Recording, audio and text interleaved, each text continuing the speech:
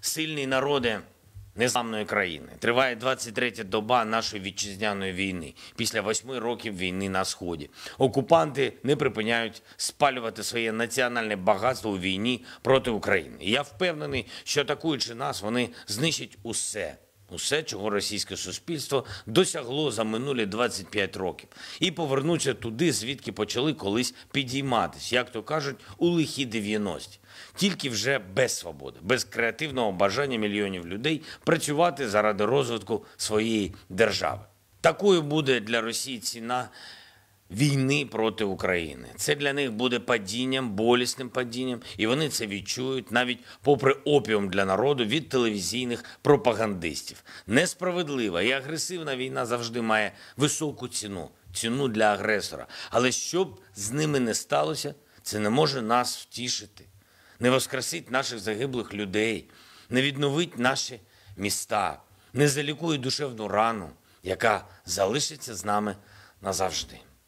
Ми відбудуємо усе. Я не маю сумнівів в цьому. Ми станемо повноправним членом ЄС. Кожен представник нашої держави працює для цього 24 на 7. Але життя вже буде іншим і для багатьох без тисяч сердець, зупинених цією війною. Вічна пам'ять кожному, хто віддав своє життя за Україну. Російські війська продовжили підлі обстріли наших мирних міст і наших громад. Львів, Київ та область, Житомирщина, Сумщина, Харків та область, Чернігів, міста Донбасу, Сєвєродонецьк, Краматорськ, наш Маріуполь. Ракетні удари, авіабомби, гради настільки, наскільки можемо, збиваємо російські ракети.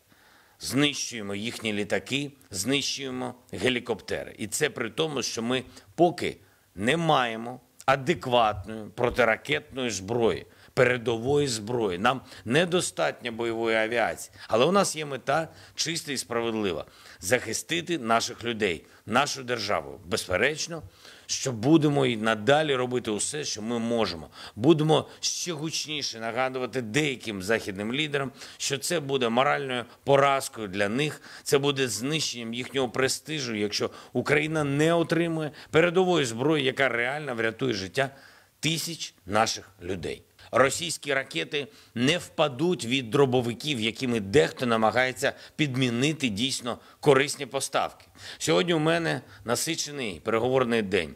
Урсула фон дер Ляйн, президентка Єврокомісії, Шарль Мішель, президент Європейської ради, великий друг України, прем'єр-міністр Британії Джонсон. Тематика зрозуміла. По-перше, це конкретні кроки, які дадуть Україні ще більше сил, не тільки безпосередньо для оборони, але й для економіки, для наших людей, для українців, які реально захищають Європу тут і зараз, на нашій землі. Президентка Урсула фон дер Ляйн пообіцяла, що зробить усе можливе для прискорення вступу України в ЄС. Бюрократичні процеси, які зазвичай займають роки, скорочуємо для нашої держави до тижнів, до місяців. Це не просто. Але ми це зробимо, впевнений. Також домовились про підтримку від Євросоюзу для українців, які вимушені були залишити свої домівки через війну. Тим, хто за кордоном і всередині нашої держави. І домовились про новий макрофін ще 300 мільйонів євро для України на додачу до тих, щодо яких вже було ухвалено рішення. По-друге, обговорюємо наступний пакет санкцій проти Росії. Достатньо вагомий, щоб вони відчули, що кожна ракета проти нашої держави, кожна бомба, кожний постріл мають свою ціну для російського бюджету, для російських компаній, для російських амбіцій та для конкретних людей, які представляють собою російську владу. І поки не буде миру для України, санкції проти Росії повинні стабільно зростати. Я вдячний усім громадським ініціативам з різних країн світу, які пропонують обмеження для Росії не тільки на рівні держав, але й на рівні суспільств. Зокрема, вдячний шведській профспільці портових працівників, які обіцяють не обслуговувати всі судна, пов'язані з Росією. Це правильно, це хороший приклад, який мають наслідувати усі громадські структури, усі профспілки та бізнес-асоціації. Якщо ми не зупинимо Росію зараз, якщо не покарати Росію зараз, то інші агресори в світі почнуть інші війни в різних регіонах світу, на різних континентах, всюди, де якась держава мріє підкорити сусідів.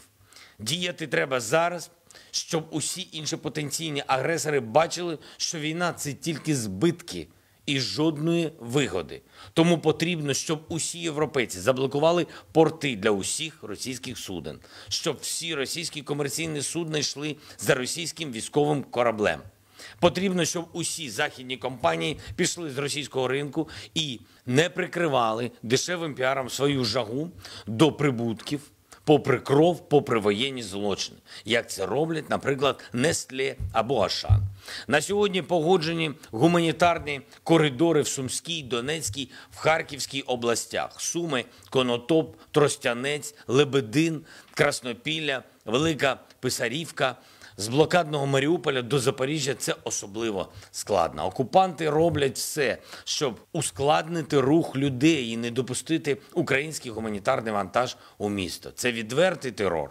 Але ми намагаємось, ми робимо усе можливе. Вдалося врятувати з Маріуполя вже більше 35 тисяч людей.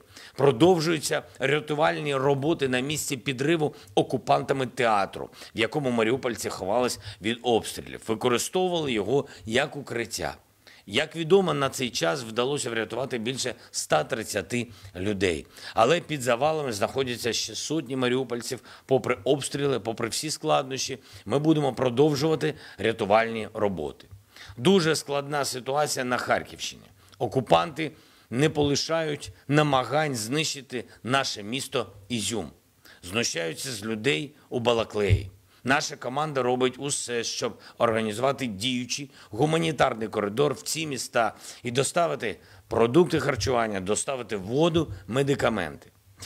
Доручив Кабінету міністрів України, секретарю РНБО і спікеру Верховної Ради розробити такий формат рішень, який дозволить максимально прискорити постачання усіх необхідних товарів з-за кордону.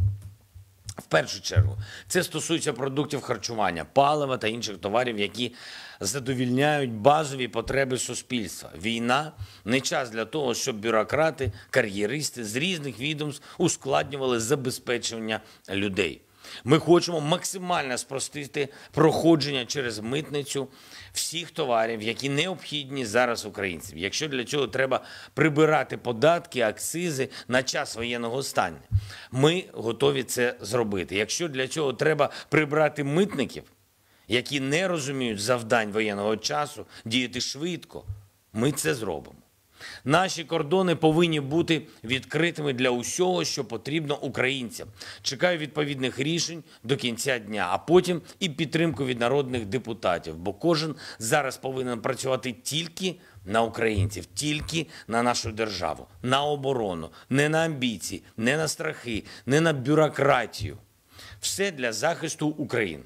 Сьогодні підписав указ про відзначення державними нагородами 138 військовослужбовців Збройних сил України, зокрема орденом Богдана Хмельницького другого ступеня нагородження. Сирський Олександр Станіславович, командуючий сухопутних військ. З початку повномасштабного російського вторгнення керує обороною Києва. Завдяки його професійним та мужнім діям ворог поніс значні втрати, був відігнаний від столиці. За час оборони Києва вдалося звільнити більше ніж 30 населених пунктів на Київщині, які були тимчасово окуповані ворогом. Майор Мазурок Тарас Леонідович, командир танкового батальйону. Захищаючи Донецьку область, наніс відчутні втрати ворогу і суттєво зупинив його просування. Орденом за мужність третього ступеня нагороджена сержант Нуца Руслана Васильівна, старший бойовий медик. Особисто брала участь в евакуації поранених з водяного Широкиного Маріуполя. Завдяки її діям вдалося врятувати 31 нашого захисника. Продовжує виконувати завдання в Маріуполі. Слава усім нашим героям! Слава Україні!